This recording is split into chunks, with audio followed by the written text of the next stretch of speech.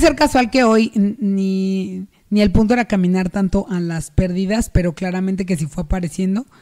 Eh, sí es importante mirarlo porque recordemos que hay un parteaguas con la pandemia y creo que seguiremos trayéndolo al, al, espacio tal vez sean necesarias porque hubo muchas más secuelas eh, de salud mental de lo que parece porque no fue el virus como tal, sino toda la psicosis que se creó acerca de la pérdida de libertad, de romper el automático, o sea, a todos nos sacó del automático.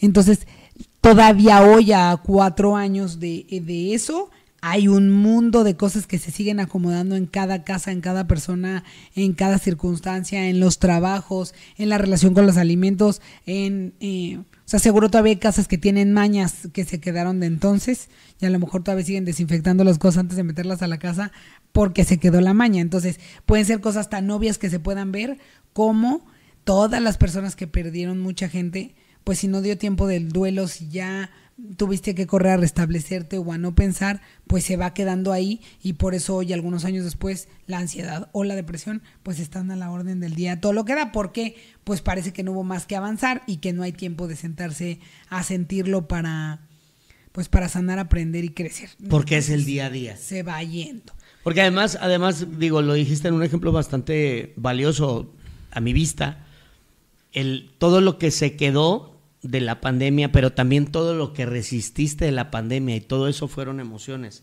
O sea, porque hubo cosas que resististe, y otras en las que te adaptaste, otras en las que... Entonces creo que sería un muy buen momento para detenerte, como dice Frida, respirar y ver cómo es que estás tú hacia adentro y cómo es que está funcionando tu entorno.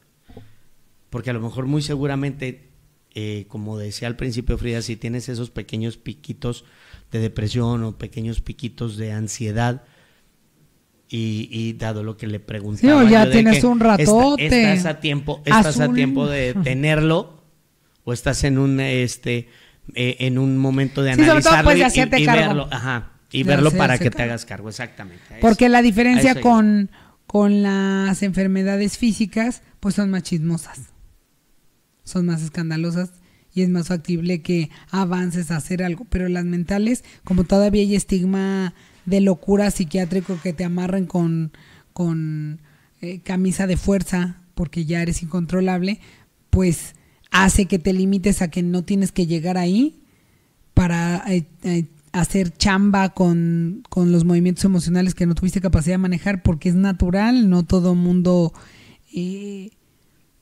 o sea, más bien es complejo para todos.